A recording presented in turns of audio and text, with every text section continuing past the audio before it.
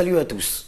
Encore heureux de vous retrouver cette semaine dans le cadre de votre documentaire premier Cette découverte sur Canal 7, la télévision panafricaine.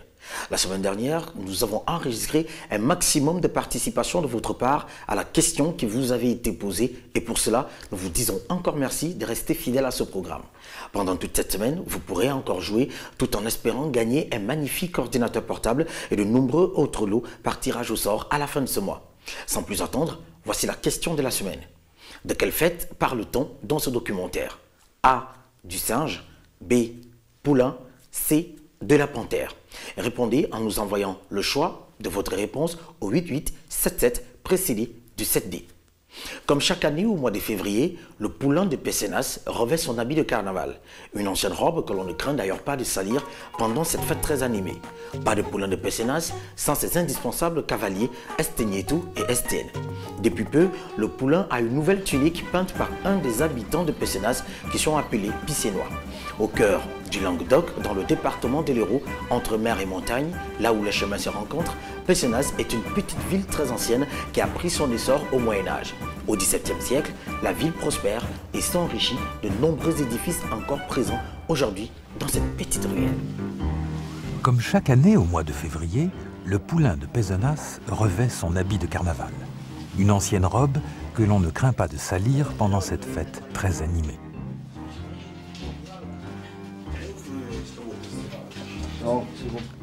Pas de poulain de Pézenas sans ses indispensables cavaliers Estienetu et Estienne. Depuis peu, le poulain a une nouvelle tunique, peinte par un des habitants de Pézenas, qui sont appelés Picénois. Euh, on a essayé de retrouver exactement comme la première toile avait été réalisée à l'époque. Et à force à force, on a trouvé euh, les emblèmes euh, qui ne sont pas du tout les mêmes que sur l'ancienne toile. Euh, aussi bien la queue que les couleurs, que la, la draperie qui sur l'ancienne toile est toute droite et qui actuellement est, euh, disons, drapée. C'est que le poulain de Pézenas ne date pas d'hier. Il est mentionné depuis 1702 dans les archives municipales, mais dit-on, sa naissance est bien antérieure. Au cœur du Languedoc, dans le département de l'Hérault, entre mer et montagne, là où les chemins se rencontrent, Pézenas est une petite ville très ancienne qui a pris son essor au Moyen Âge. Au XVIIe siècle, la ville prospère et s'enrichit de nombreux édifices encore présents aujourd'hui dans ces petites ruelles.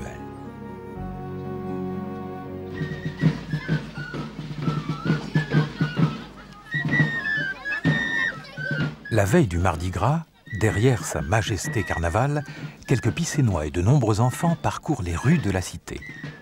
Au son des joueurs de fifres et de tambourins, ils annoncent à toute la population le début des festivités.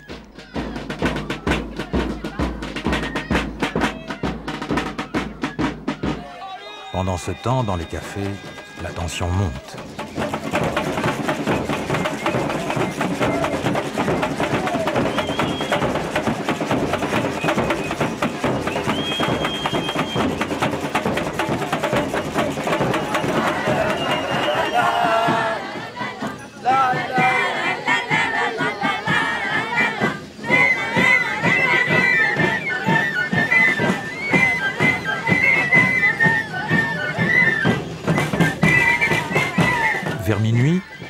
Se retrouve dans les ruelles de la vieille ville. Sur les places, tous exécutent des danses traditionnelles qui annoncent la fête du poulain.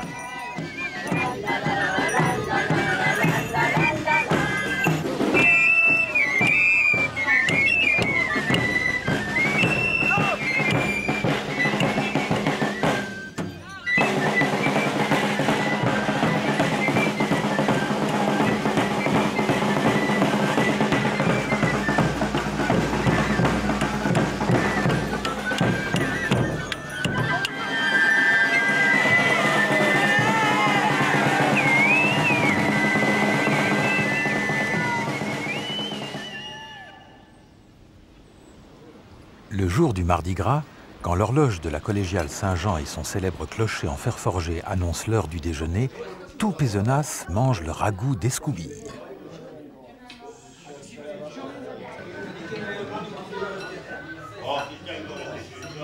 C'est la poubelle le Scooby. Hein. C'est fait avec des restes. c'est le meilleur. C'est le repas traditionnel de Mardi Gras. C'est aussi le repas traditionnel des porteurs du poulain réunis autour du vétéran Francis Oran, dit Pampille. Ah, Pampille a été bon. D'abord, on l'a pompé, alors, tellement là. On l'a épuisé, Pampille. On l'a épuisé. Pampille, c'est le Picénois le plus populaire, car il a mené le poulain pendant 23 ans et il n'était pas le premier de la famille. Le grand-père Tom Carré, il s'appelait. C'était, c'était une vedette aussi bien que moi. C'était la même chose comme maintenant. Pourquoi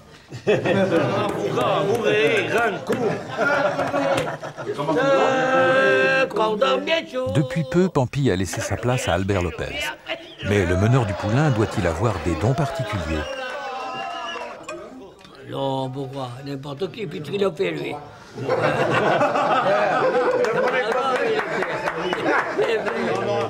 mais n'est pas meneur qui veut. Il faut, il faut, il faut quelqu'un qui le sente vraiment, pour qu'il vive en, permanence avec, avec le poulain. ça fait qu'un corps. Euh, c'est un collectif, le poulain, c'est pas, c'est un tout. Hein, donc, euh, à partir de là, c'est une grande famille aussi. C'est eux qui le font bouger. C'est moi qui demande qu'ils bougent comme ça ou comme ça, mais c'est eux. Si eux dessous, ils répondent pas présent, bon. Mais...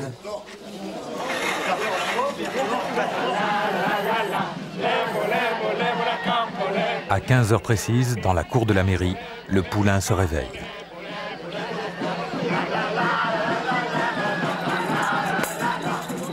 deux, trois. tire, tire. Moi, je vous conseillerais de vous On est bon là Allez, c'est ça on est, Attends, on est bon là, tous La naissance du poulain de Pézenas remonte à Louis VIII. En 1226, alors que le roi séjourne dans la ville, sa jument favorite tombe malade. À son grand regret, le souverain qui était sur le point de partir doit la laisser sur place. Les notables de la ville prennent alors soin de la bête et lorsque le roi revient quelques mois plus tard, il trouve l'animal en excellente santé avec un vaillant poulain à ses côtés. Ravi, Louis VIII offre à Pézenas un poulain de bois et émet le vœu que celui-ci participe dorénavant à toutes les fêtes populaires. Le désir du souverain a depuis été toujours exaucé. Tout au long du parcours, le poulain, grâce à sa tête télescopique, atteint aisément le premier étage des immeubles pour recevoir le bol. De nombreuses fenêtres de Pézenas sont décorées de remarquables grilles en fer forgé. Ah, vous savez que Pézenas, c'est un fief de ferronnerie. Vous aviez des compagnons qui venaient soit d'Allemagne, qui venaient de Belgique, qui venaient d'Italie, et qui restaient euh, un an ou deux ans ou trois ans à Pézenas. Et c'est pour ça que sur Pézenas, vous avez de très belles ferronneries du 16e et du 18e.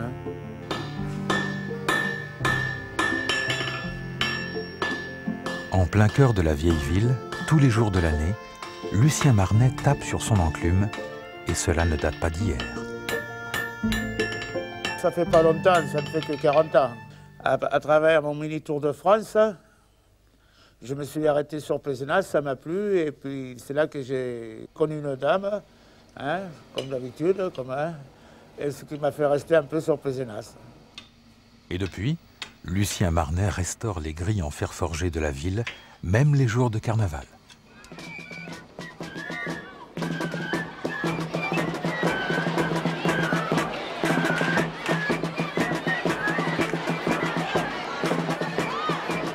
Les cavaliers du Poulain sont nés de l'imagination populaire. On raconte qu'en 1622, un maréchal du roi vit une paysanne qui, jupe retroussée, s'apprêtait à franchir une rivière. Le galant maréchal la prit en croupe, et c'est sur sa monture que tous les deux entrèrent en ville. Le peuple s'en amusa et en souvenir créa Estienou et Estieneto.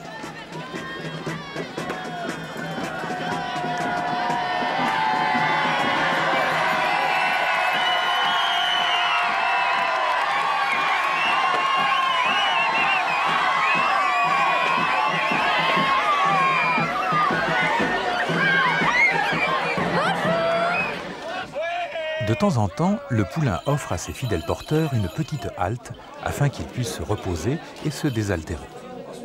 C'est la pause pour minéral. Faut tenir. Ce soir, il va être intéressant de voir le visage décomposé. Quant au poulain, lui, il a droit à sa ration de mousse à raser.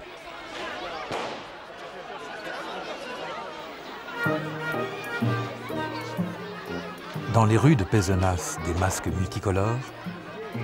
Sur les façades des édifices, des centaines de mascarons. Et de très belles portes, caractéristiques de l'histoire de la ville depuis le Moyen Âge.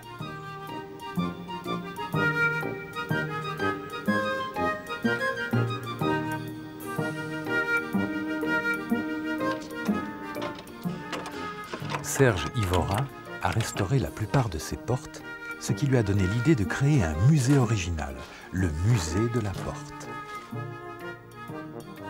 Certaines portes ont été refaites à l'identique et je garde le témoin du passé dans, dans ce musée. Où certaines ont été rachetées chez les antiquaires, d'autres, euh, mais très, très, rarement, dans des décharges. Donc ici, là, vous avez toute une série de, de moustaches qui viennent des décharges. Mais euh, dans les décharges, je n'y vais que de temps en temps quand je veux vider les copeaux ou les chutes de bois. Et je ramasse ce que je peux. Mais si je pouvais y aller beaucoup plus souvent, je suis sûr que je trouverais encore des trésors. Ce qui est intéressant dans les portes d'entrée, c'est que nous trouvons plusieurs corps d'État dans, dans, la même surface.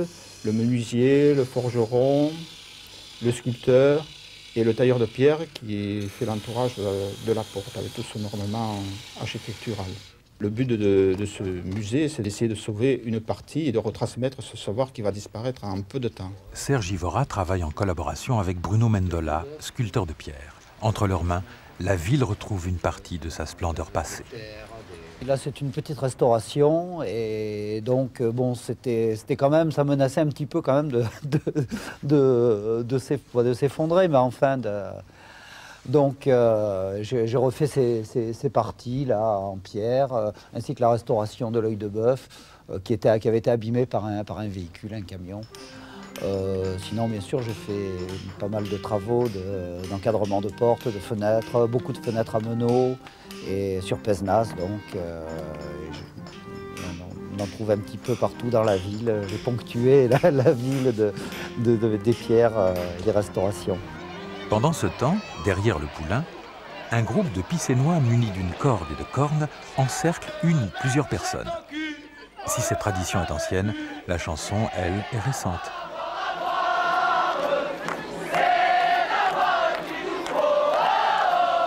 Nous les cornes parce qu'à Pézenas, à Carnaval, il y a beaucoup de cocus. Je suis le. Maury, premier candidat Et alors on, raquette un petit peu les gens, ça les raqueter. On leur fait boire un peu de pastis, de rouge, de muscat, ce qu'ils veulent. Et alors on demande un peu de sous, un peu de sous pour qu'on graillave après.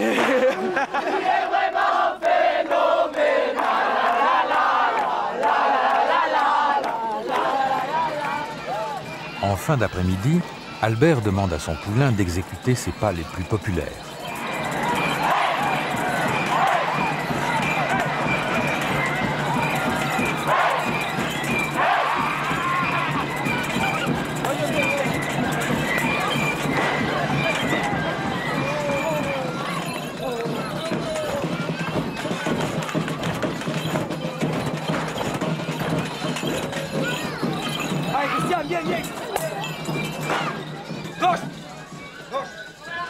Vers 18h, le poulain qui pèse plus de 300 kg sur les épaules de ses huit porteurs retourne à la mairie.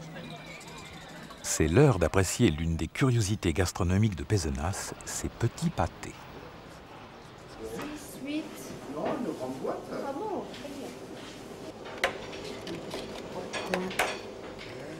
Ben, les petits pâtés, donc c'est la spécialité de Pézenas. Il y a de l'agneau à l'intérieur, et la cassonade. Hein. Sucre roux, sucre blanc parfumé au citron. Oui, c'est bizarre pour la région. En fait, ça a été amené par euh, Lord Clive en 1766, qui était à l'époque vice-roi des Indes.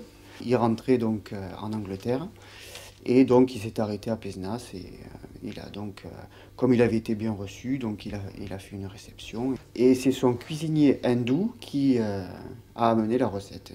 La recette est restée. Voilà. Une fois farci et fermé, laissez sécher une nuit, puis passez au four et servez chaud. Les petits pâtés de Pézenas ont un goût particulier bien à eux, à l'image de cette ville, salé et sucré, un caractère aigre-doux à l'origine des machous. fait, les machous, ce sont les habitants de Pézenas. C'est des gens qui aiment bien faire des blagues, raconter des machades. Et donc, c'est des gens qui aiment s'amuser. C'est tout un état d'esprit. Je crois qu'à Pézenas, on est, dès sa tendre enfance, on est bercé par les rimes du poulain. C'est-à-dire qu'un bébé qui pleure à Pézenas, on le fait sauter dans les bras en chantant le poulain. On aime le poulain, on aime s'amuser. Et tout ça, ça fait partie de l'état d'esprit du Pissénois. André Gourou, pharmacien, et Christophe Bott, dessinateur, préparent l'affiche et leur sketch pour le prochain spectacle des Machous joué pendant le carnaval. Des petites figurines à chaque fois. Là, je vais, je vais signer. Nous, on prépare la guerre du fioc. Euh, le fioc en occitan, c'est le feu. Ça se prépare déjà, je pense, 4 à 5 mois à l'avance déjà, puisque nous, donc, on va faire un sketch qui ne va pas être dansé, donc qui va être parlé, donc il y a une énorme préparation.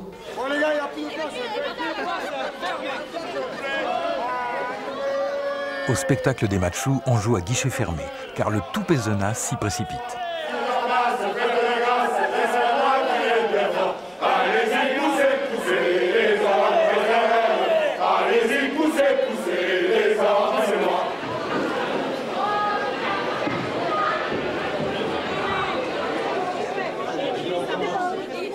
Coulisses, les acteurs se préparent.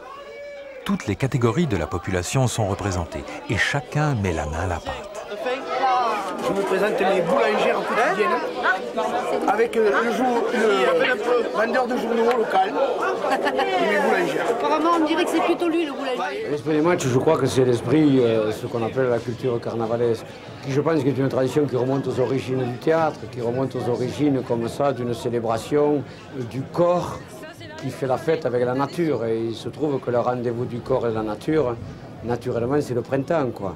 Pour nous, c'est une, façon de, se retrouver entre copains, c'est une façon de, faire en sorte que les liens comme ça de, la tribu puissénoise se, se recréent par le rire, par la fête, par la sexualité par la bouffe, par le boire, euh, sans aucun ordre de hiérarchie. Si vraiment Carnaval disparaissait, ce serait un peu comme si Pézenas disparaissait, ça nous... Ce serait un grand deuil dans notre vie. Après le symbole Machu, le spectacle tant attendu commence.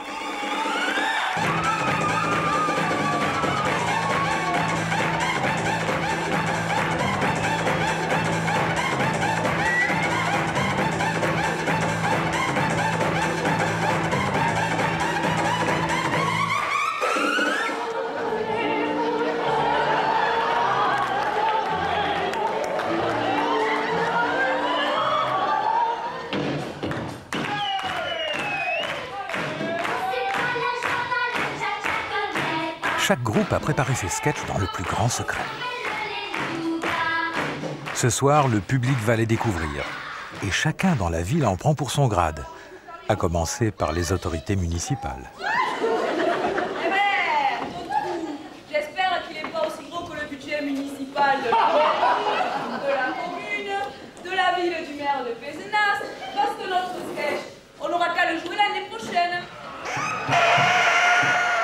Mais pour nous, les matchs ou la machade, c'est-à-dire c'est une façon de galéger, c'est-à-dire de ne pas se prendre au sérieux et en même temps d'être suffisamment critique sur la vie, de s'amuser tellement de Pierre, du Paul, du voisin, de la voisine, qui fait que, eh, qui fait que cet air comme ça, de ne pas se prendre au sérieux, de dire les quatre vérités, tout en le disant avec le sourire, sans essayer de blesser, mais en même temps en disant quand même les choses qui ne vont pas, c'est ça l'esprit match.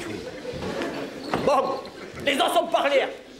D'après les os, un grand chef va naître et réglera les problèmes entre vos tribus.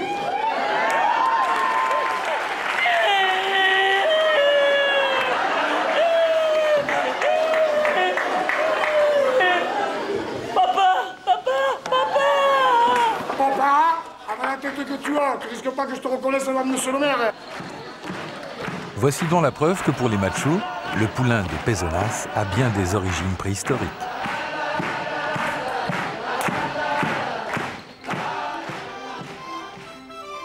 Cet esprit de dérision est-il la raison de la venue de Molière à Pézenas ou bien est-ce une partie de son héritage? En tout état de cause, le passage de Molière a fortement marqué la ville. Et Molière recherchait des endroits pour jouer Et à Pézenas se tenaient très souvent les états généraux du Languedoc. Et ces gens-là avaient besoin de, s'amuser de, et demandaient donc à Molière de, de, jouer la comédie. Il a fait la connaissance du, prince de Conti. Évidemment, pour Molière, ça a été quelque chose de fabuleux parce que pour la première fois depuis bien bien longtemps, il avait, il avait la pitance assurée. Euh, il n'était pas obligé de chercher euh, un endroit, euh, les autorisations pour jouer et, pour ramasser juste de quoi manger probablement le, le lendemain. Là, c'était la grande vie. Et on pense que c'est là qu'il a commencé à écrire.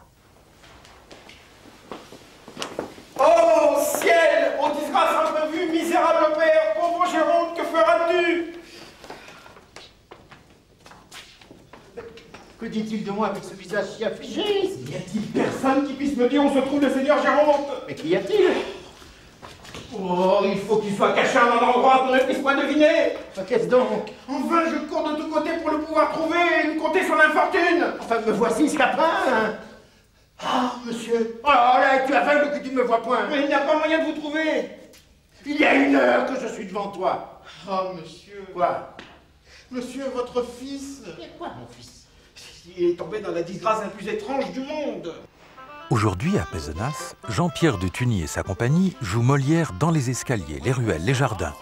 Mais plus à l'ancien théâtre, un petit joyau du 19e siècle qui attend d'être restauré. Eh oui, monsieur, il sait que c'est 1500 livres. Et crois-tu que l'on trouve 1500 livres sous les pas d'un cheval Et ces gens-là n'entendent point de raison. Oh, mais que diable allait-il faire en cette galère? Ah, il est vrai, mais faites promptement, je crains que l'heure ne sonne. Molière et le théâtre ont attiré à Pézenas de nombreux métiers liés au spectacle. Tel fut le cas de Paloma Vuong. Il y a tout un passé historique sur Pézenas qui fait que ils aident tous les artisans qui sont dans cette profession, que ce soit le décor, euh, tous les métiers de la scène et tout ce qui concerne euh, l'histoire de cette ville. Ce travail que toutes les femmes faisaient avant à la main, parce qu'il n'y avait pas les machines à coudre, euh, broderie, de recherche, voilà, fouiller les greniers, essayer de toujours trouver le, le tissu qui va rappeler l'époque, qui va être le plus proche. Donc il y a tout un travail de documentation, de recherche à faire qui est très très intéressant. Se costumer, se travestir sans complexe font partie de l'esprit macho. Florent le plombier, André le pharmacien, Albert le meneur du poulain rendent hommage à leur manière à une grande chanteuse populaire.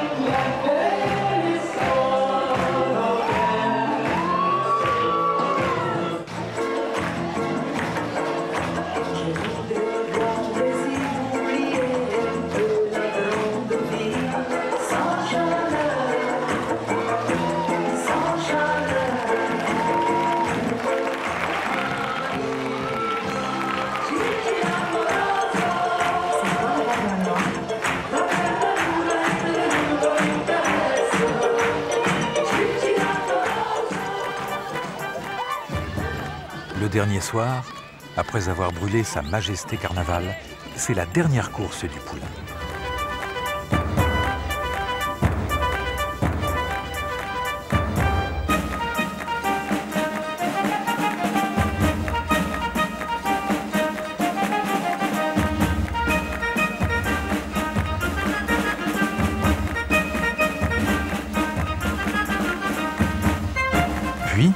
Albert l'entraîne pour une folle cavalcade dans les ruelles étroites de la vieille ville. Là, Albert mène le poulain à un rythme d'enfer, à gauche, à droite, en avant, en arrière, créant un énorme tohu-bohu pour la plus grande joie des milliers de badauds qui le suivent.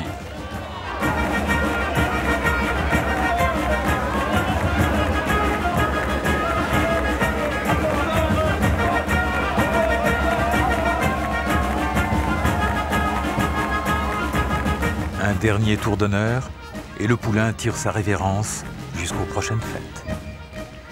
C'est ainsi qu'à Pézenas, le poulain don royal anime les réjouissances populaires. C'est ici que prend fin cette fête du poulain. J'espère que vous avez pris du plaisir, tout comme les invités de cette cérémonie, de festoyer aux côtés du poulain de Pesetas et de ses indispensables cavaliers. Maintenant, à vos téléphones pour donner la bonne réponse à cette question en envoyant 7D suivi de votre réponse au 8877. De quelle fête parle-t-on dans ce documentaire? A. Du singe. B. Poulain. C. De la panthère. Au revoir et à la semaine prochaine.